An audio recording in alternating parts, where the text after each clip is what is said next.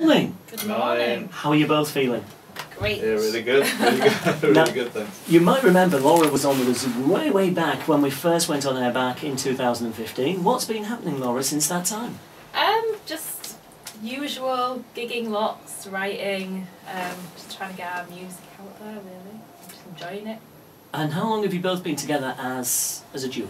Um, about six years. Five or six years. yeah, Yeah, we've known each other for like About for 12, years, about maybe 12 years. Yeah. Um, yeah, but we've- we've been playing together for about five or six, haven't we? yeah. And you've just literally got back from the States, haven't you, Neil? Have, yeah, yeah. Um, just come back from a honeymoon in Orlando, which is uh, absolutely amazing. But I think I'm still a bit jet lagged. I was going to say, where's, where's the brain at the moment? We're still talking uh, mid-Atlantic. Yeah, it seems to be dropping off during the day, but uh, can't sleep on a night, so I think I'm still a little bit jet lagged, but Oh. I'll be alright. I won't drop off while we're playing today. That's, don't worry, we've got the hooter over here just to be quiet. Good. So, um, Sea of Wires, you say you've been together for six years. Well, how would you describe the music that you play? What kind of material? Um, it's kind of you hate it when I say this, Dave, but it's a little bit country, a little bit. Well, I don't hate Um, it as much now. I think I've got used to it. Yeah. it's uh, just like acoustic rock, you know. It's difficult to describe really. 'cause we've got quite a lot of different songs, haven't we? Yeah. They're all they're all sort of conform to the same. Yeah, we've got a lot of different influences and, you know. So, so just remind us again who yours were, Laura. Who were the people that Um, would you safely say? I like like a lot of old music, I think, especially at the moment. Like like I like a lot of fifties rock and roll, like Buddy Holly and Elvis and stuff like that. Then I love um, a nineties grunge, so Nirvana, Alice in Chains. Really interesting So combination, I that just really. really love. Yeah. Yeah, I love everything. I love everything. I'm not a music snob. So we could could you have a grunge version of an, a classic Elvis track then? Here? Yes, Could maybe. do, oh, yeah. maybe Ooh, that should sounds try it. interesting. Interesting mix. How about yourself, Neil? Who, was- are the people you were listening to? It's similar. Right? I, I like so much, uh, like so much stuff, like classic rock. So like the Who and uh, Led Zeppelin and Jimi Hendrix, people like that. Then I also like grunge and I like metal as well. Not that any of that's really shown through our music, but uh, I like everything. I'll, I'll give everything. Again, I'm not like a music snob or anything. I'll give any, anything a go. Really, Massively Uh, into Justin Bieber at the moment. massively into Justin Bieber. I love him. You a I don't- I really, I really don't, really don't like Justin Bieber. My wife does, but uh, no, not not me. Is this a case where you go to the? Have you adopted the part now of being a married man that you have a potting shed or something similar to escape? to? Not quite. I, I could do one. uh, Do a little music shed. That would be good. Yeah. that was incredibly diplomatic the way you said that. You know? really? So at the moment you've, you've been you've been playing obviously for six years. Um, venues wise, what do you what, what's your favourite type of venue that you play? Um, well, we're playing at the Sesh this Tuesday, and we've played there a few times, and Uh, that's like always is- one of my favourite The gigs. sesh is always a good gig. There's always um, like a lot of people there, really good sound, good atmosphere. Yeah. Oh, they've always got a good lineup as well, which Yeah. is, is good. So, but I don't, we play again. We play so many different types of places, don't we? Yeah. Like we love the open mic. At the Nice, Sun Inn yeah. Tuesday, that's always fun. Yeah. But then we love the playing the bigger gigs as well. don't we? Yeah. So it's, uh, it's difficult. Each of them have their own particular like attraction, don't they? really? Yeah. A nice intimate gig is you get you're very close to the audience. Yeah. Yeah. Yeah, that's right. Whereas with it, normally you find with the, the larger the audience, the further away you are. Yeah. The open mic nights are good because I don't know, they're, just, they're easy going out there. You Yeah, can just just always a interact good with laugh. other people. And, yeah. But bigger gigs are good, like you get better sound and stuff. Yeah. Bigger gigs. So no, that we just will play anywhere, won't we? Yeah. We love it. And so, well, we'll say an intimate gig. I'm very, very fortunate this morning. They're going to play for us now um, uh, uh, to an audience of three of us in here this morning. Um, what are you going to play for us? Um, we're going to play a fairly new song called Evil.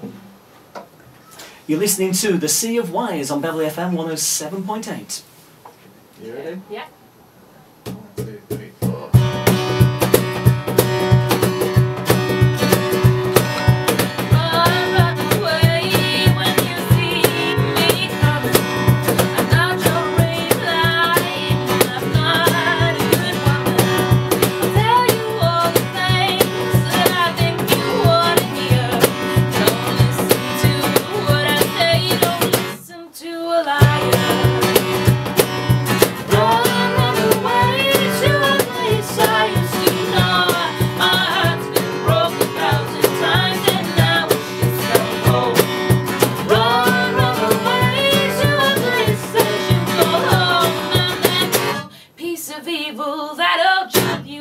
The.